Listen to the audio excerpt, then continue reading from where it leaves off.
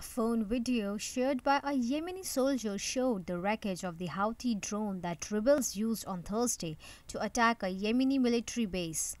The attack killed at least six people and injured several senior officers.